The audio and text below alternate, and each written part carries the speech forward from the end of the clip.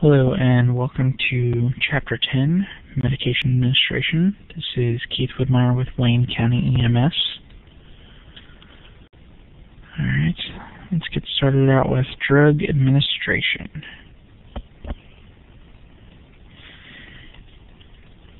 An EMT can give or assist a patient in taking medications only by the order of a licensed physician.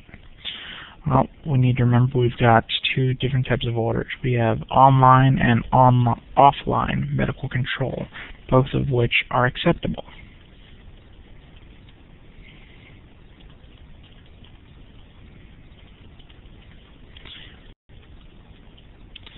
Before giving any drug, you must assess the patient.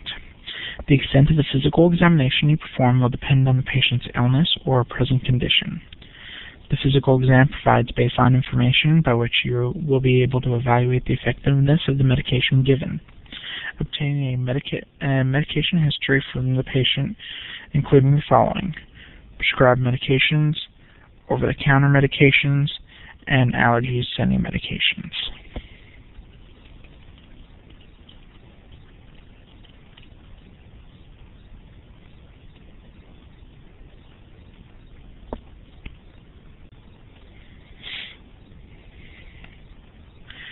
You must be knowledgeable about how each drug you, you give I'm sorry, you must be knowledgeable about each drug you give, including the following. The um, This is the whole drug profile, which we've already gone over during the last PowerPoint slide.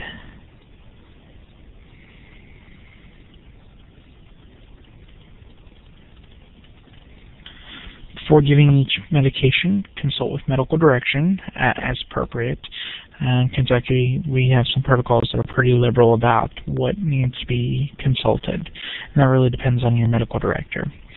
When speaking with medical director, um, be sure to relay relevant information about the patient, including the following uh, their age, chief complaint, vital signs, allergies, current medications, and pertinent past medical history.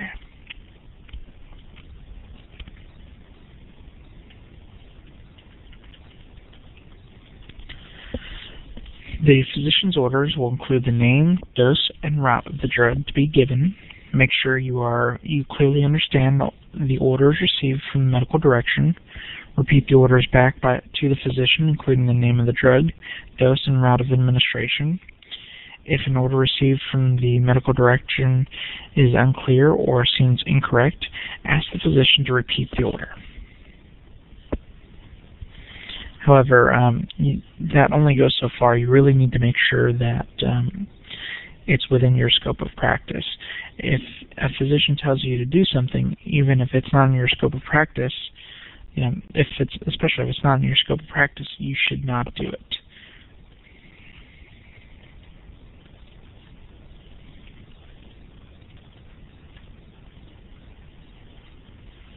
Now we're going to review the six rights of drug administration.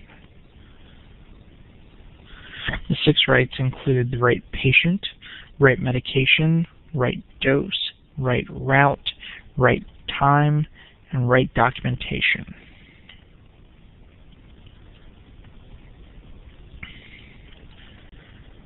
Different routes of drug administration. We have um, the enteral route and the, the parenteral route.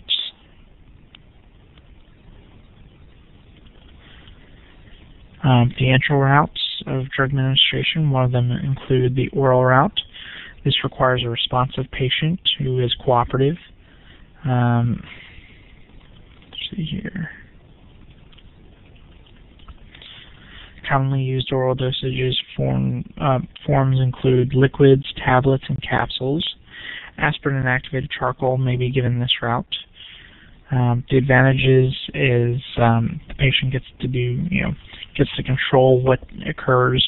Some of the disadvantages include the, that the patient has to be responsive and cooperative in order to receive it.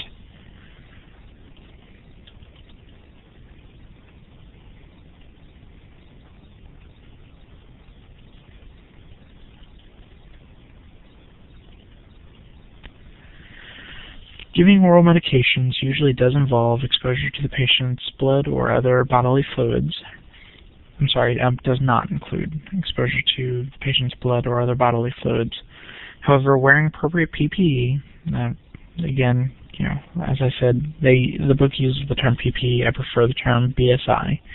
Um, it's common practice to minimize the chances of communicable disease exposure. The inside of the medicine container, its contents, and the inside of the container's caps are considered clean.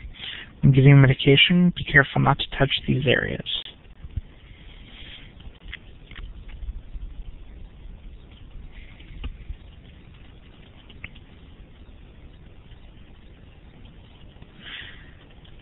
When administering a tablet, open the container, pour the correct number into the inside cap of the container, transfer the tablets by pouring them into the patient's hand, making sure not to contaminate the inside of the container, and then carefully recap the container.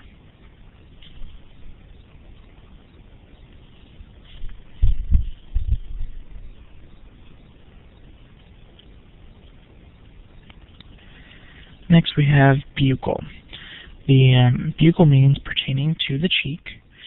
To give a drug by this route, a drug is placed by in the mouth against the mucous membranes of the cheek until the drug is dissolved. The drug may act locally on the mucous membranes of the mouth or systemically when swallowed by in when swallowed in the saliva. Oral glucose is given by this route.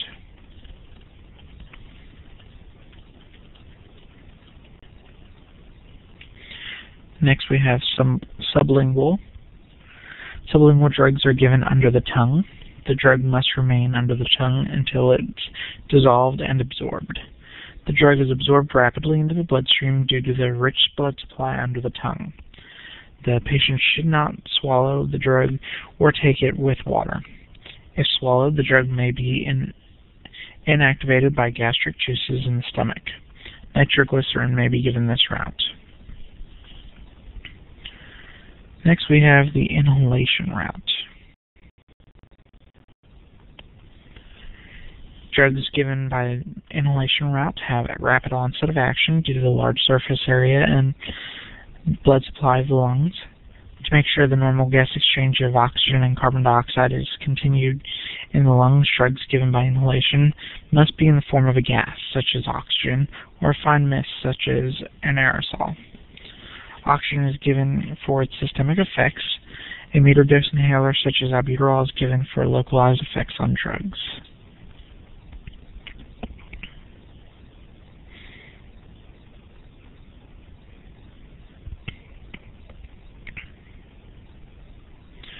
Drugs given by the subcutaneous route are given by means of needle inserted underneath the skin into the subcutaneous tissue. The onset of action of subcutaneous is faster than that of oral route, but slower than the intramuscular route. Absorption is delayed in circulatory collapse, such as shock. Only a small volume of drug can be given by this route.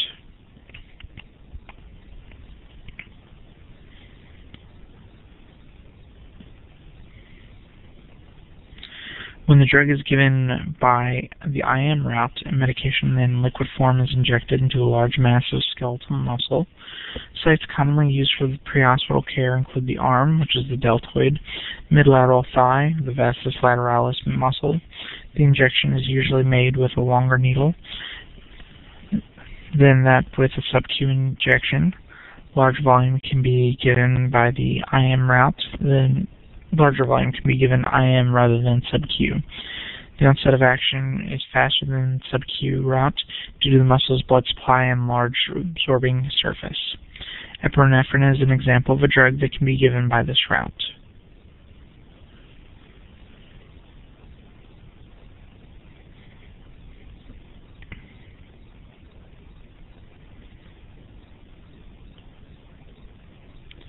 After giving a drug, document the reason the drug was given, the medication administered, and the time you gave it.